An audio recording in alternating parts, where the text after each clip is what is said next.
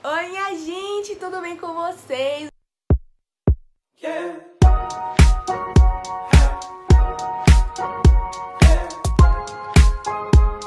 Olha a saudade que eu tava de gravar aqui pra esse canal. Como é que vocês estão? Estão bem? Eu estou ótima, graças a Deus.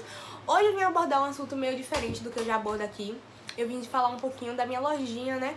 Porque eu vi que algumas meninas tiveram certas dúvidas lá no meu Instagram. Eu vi as meninas falando comigo, falando que era inspiração, que era pra falar um pouquinho mais. Então, como aqui no YouTube normalmente são os vídeos mais longos, eu resolvi gravar aqui pro Tudo começou, não tenho na, na verdade data marcada onde tudo começou. Mas eu sempre gostei, eu sempre gostei muito do empreendedorismo, eu sempre gostei muito de vender. Que pra quem não sabe, eu já vendi biscoito, já vendi elástico. Porque eu queria ter meu dinheiro assim pra dizer, ó oh, mãe, quero comprar isso, mas não precisar pedir a ela, sabe? Então eu vendia biscuit, eu já vendi brigadeiro, adorava é, ter o o poder de dizer eu quero comprar e eu posso comprar, eu adorava isso, sabe? Mas isso desde novinha, eu nunca botei muito a fundo. Vendi por alguns períodos e foi uma coisa muito rápida. As pulseiras, o, é, vendi pulseira, vendi bijuteria, vendi brigadeiro, vendi. o que mais? Milhares de coisas, biscuit. e acho que isso tudo foi me ajudando a ganhar experiência com as vendas, com tudo isso.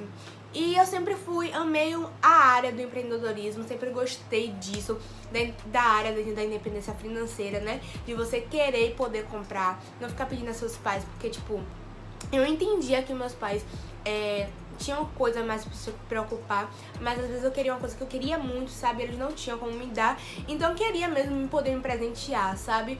E também ajudar eles daqui uns anos, né? Provavelmente, tentar ajudar eles foi por isso que eu comecei, foi o motivo inicial. E aí, né, é, com o passar do tempo, eu não levei muito esse projeto de, do empreendedorismo de vender brigadeiro nem nada à frente. Eu vendia só no colégio vendia só no colégio mesmo. Só que assim, é, ano passado, ano retrasado, eu me mudei de colégio. Então não tinha como eu prosseguir com as vendas do brigadeiro, porque no meu colégio tinha muitas regras, tinha muita coisa, não podia vender dentro do colégio. Mas mesmo assim eu continuei vendendo. Vendia só pra galera da minha sala ou a galera que eu conhecia. Lá dentro do colégio sem ninguém saber. Uma coisa assim, hum... E aí continuei vendendo, vendendo. Só que isso tava me deixando muito cansado, porque eu tinha que chegar e estudar pra prova. Eu chegava muito tarde do colégio, tinha que estudar pra prova, tinha que fazer atividades, milhões de atividades. E eu não tava conseguindo lidar com tudo isso. Então eu parei de vender. Na época os looks eram legais, eu gostava de fazer os brigadeiros e afins, mas como eu falei, eu estava ficando muito cansada. E aí eu parei toda a minha, minha vida de investir, de lucrar e a venda do brigadeiro eu comecei com muito pouco, acho que eu comecei com menos de 50 reais. Com as coisinhas que tinham aqui em casa, outras coisas eu comprei. É, comprei um pacote de chocolate, um pacote de... daqueles amendoim torrado. Enfim, eu comprei vários ingredientes pra fazer os brigadeiros. Aí fazia brigadeiro de normal, né, o tradicional. Fazia o de leitinho, fazia também o de amendoim Fazia de hora, fazia um... Ah, minha filha, os dotes culinários embaixou aqui. Embaixou uma coisa assim culinária que ela deu uma de brigadeiros dela. Ela faz o investimento dela. Mas aí, como eu falei, né, não, não fui muito a fundo. E aí eu parei total. E aí, com, com o passar do tempo, eu tô vendo, nessa quarentena principalmente, tava vendo muita gente abrindo essa, as lojinhas.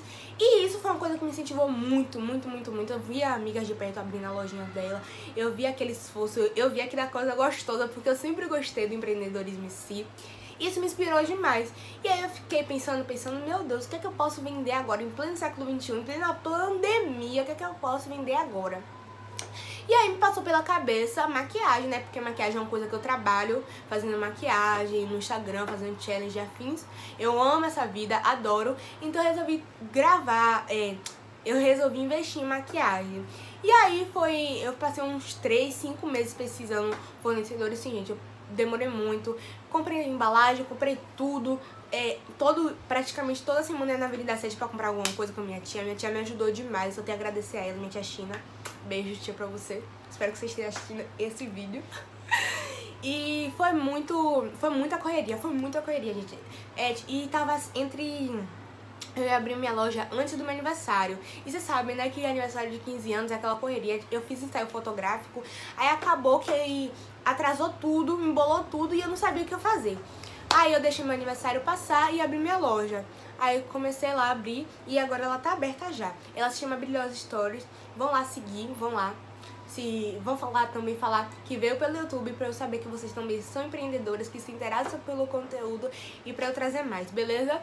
Ah, antes de eu continuar, não se esquece de deixar o like se inscrever no canal, porque isso é muito importante. Ajuda aqui também nós, beleza? Eu falei, não, vou continuar vendendo, vou, vou começar a vender maquiagem, deu tudo certo, abri minha loja e no primeiro dia ela já tinha batido 200 seguidores, velho. Eu fiquei sabe? Eu nunca imaginava que ia bater seguidores assim tão rápido. Hoje a gente tem 400, mas é porque eu realmente não tô muito ativa lá. Eu tenho que voltar a postar mais, produzir mais conteúdo pra lá, porque eu quero realmente me esforçar nisso. Eu quero ver isso como uma profissão também, né? Porque além de ser blogueira, agora você vou ter minha loja, então é uma responsabilidade a mais. Mas eu gosto muito da área, então vocês têm. Se você quer começar, comece. Goste também do que você faz. Porque assim, não ia adiantar é, se eu, por exemplo, é, começasse a vender coisa fit. Eu não gosto de coisa fit, eu não ia vender com prazer, eu não ia dar o meu melhor. Mas como eu gosto de maquiagem, você se dá seu melhor, você quer vender, você quer comprar, você quer pesquisar sobre os produtos, você quer trazer os melhores produtos para sua loja, porque você também é, é, consumidora. Então isso é muito bom, sabe? Eu mesmo já peguei metade dos produtos da minha loja. Eu vou tomar um golpe de mim mesma, mas sigo pleno, né? Fazer o quê? E é isso, gente. É, só vim falar um pouquinho mesmo, só, é, só por cima, como eu comecei. E espero que vocês tenham gostado do vídeo. Eu acho que foi um vídeo bem rápido, né? Não sei.